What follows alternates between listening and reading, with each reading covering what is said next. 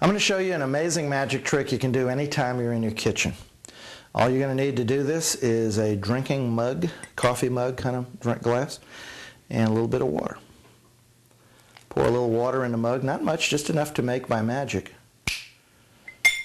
an ice cube. Huh? Huh? Just like that, water turns into ice. Now you're probably wondering, how did Dr. Magic do that? Well, I'm going to show you. The uh, explanation is simple. You just get a mug, okay, and a paper towel. All I've got in this mug is one paper towel just shoved in the bottom. It won't come out because it's just shoved in there. Okay, no glue, no nothing. Just put a paper towel in the mug. Get one cube of ice, throw it on top of the paper towel, you're ready to go.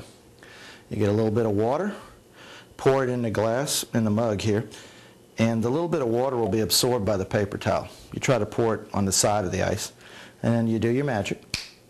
And whenever you turn the mug over, the ice cube will fall out the paper towel with the water will stay in the mug, so when you turn it over, it'll be like that, and the only thing that'll come out is the ice cube.